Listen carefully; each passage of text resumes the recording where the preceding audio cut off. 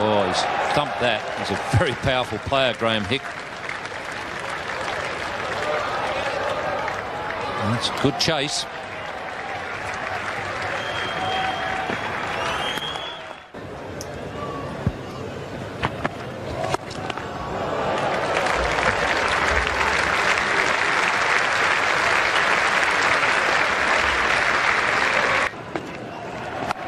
Big hit. It's going a wrong way. It's in the gap. Could go all the way. It does. Big hit by Graeme Hick. Beautifully struck.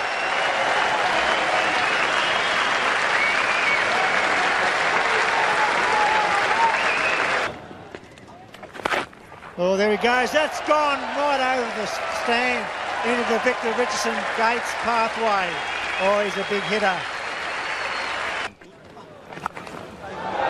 One's um, firmly and it's going way over the top for six. That's a beautiful shot, actually. That's uh, hit away down towards deep square leg, and uh, it's another six.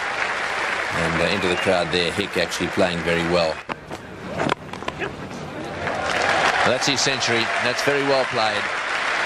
Graeme Hick uh, had a little bit of a break early on in his innings, and uh, he was given in.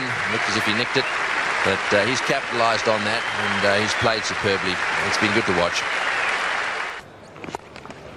in the air, and that's going a long way down towards extra cover. I thought he took his hand off the bat there. and hit that with, with one hand at the end.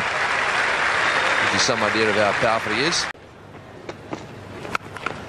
Oh, he smashed that one. That'll go all the way for six.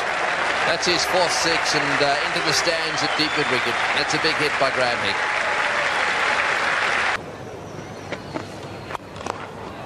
Oh, good shot. Straight down the ground. You're not going to get that one unless it hits uh, a seagull. It's gone all the way. Gives you some idea of how powerful he is. Well, that's been blasted through the offside. What a shot. All the way along the ground. That is power.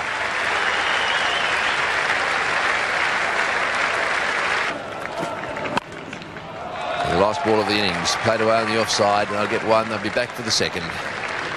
So 21 runs off that final over. And England three for 302.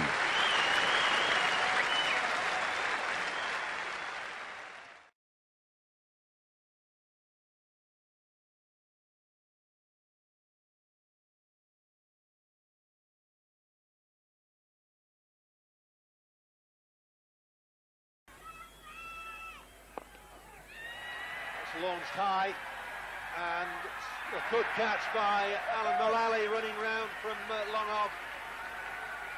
Pleased with that. That is a good catch. He had a lot of ground to make up and he made it look easy. By one of the two. Murray Goodwin's actually hit this very well. Spooned it a little bit too high. Better to hit it with a lower trajectory and that's beautifully taken. And he knows it. But it's a brave option, strong option. Down the wicket and I think he's stumped. That's the end of Grant Flower. Going down the wicket, trying to force the pace, and Graeme Hick strikes for England. Really from Grant Flower. He's trying to work out what options he's got. He's way, way down. He tries despairingly to get back and to make his ground, but good work by Chris Read. That man Hick again. Collectively. In the air, and this could be out. It's going to be a difficult catch for Ealham, and he holds his composure, takes a catch running backwards over his shoulder, and that's the end of Dirk Viljoen. So Zimbabwe now in trouble at 112 for 6. Off the ball. If you want runs, you've got to hit me long. Viljoen has tried, only succeeded in that crossbat sweep shot in finding Mark Ealham. A good catch just outside the 30-yard circle. As Difficult as I can. That's for a bold. Nice piece of work too from Chris Read. There was turn and bounce, and Ian Robinson has asked for adjudication. Saw Andy Flower coming down the pitch. Dropped it in a little bit shorter. Look at that bounce. Look at the bounce and turn.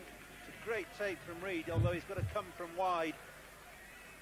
Very neat stumping, and it's Andy Flower on his way.